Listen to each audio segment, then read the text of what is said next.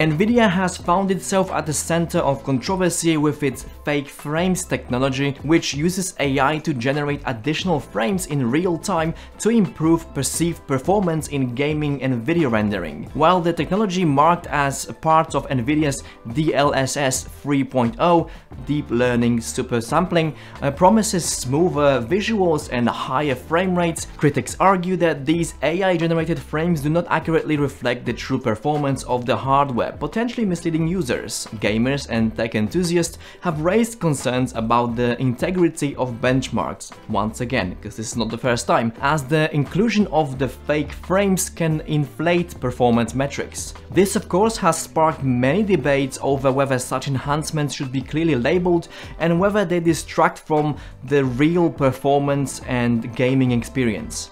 Nvidia however maintains that the technology is designed to enhance user experience, pushing the boundaries of the innovation in AI-assisted graphics.